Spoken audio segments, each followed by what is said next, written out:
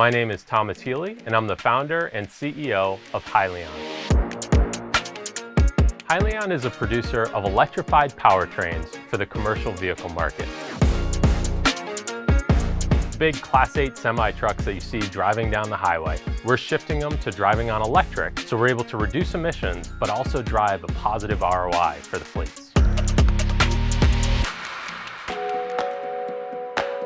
We're in a climate crisis. Pollution is up, and one of the biggest sources of pollution is the transportation sector. It's actually the number one pollution source. And trucking is a huge part of that. So if we can have an impact on reducing emissions in trucking, that's gonna have a global shift towards how much greenhouse gas emissions are out there.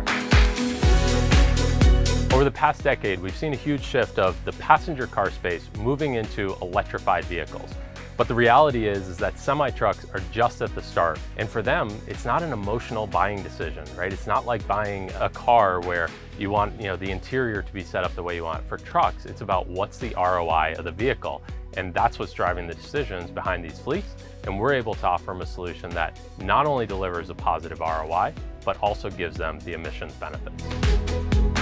So as we deploy electric trucks out on the road, the big question mark is how are we improving the emissions profile of these vehicles? And what's often used in the industry is carbon intensity or CI score.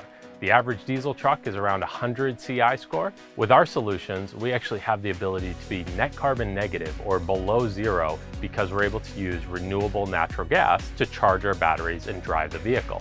So not only can you get to a net zero, you actually have the ability to go below zero, which is a huge win for the environment.